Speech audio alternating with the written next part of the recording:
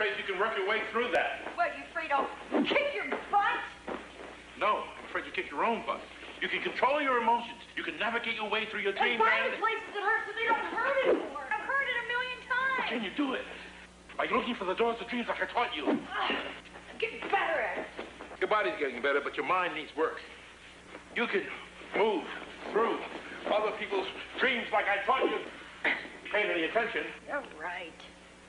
As long as you have that attitude, you're going to be stuck in the same cycle that brings you back here. Stuck where you are. Right now.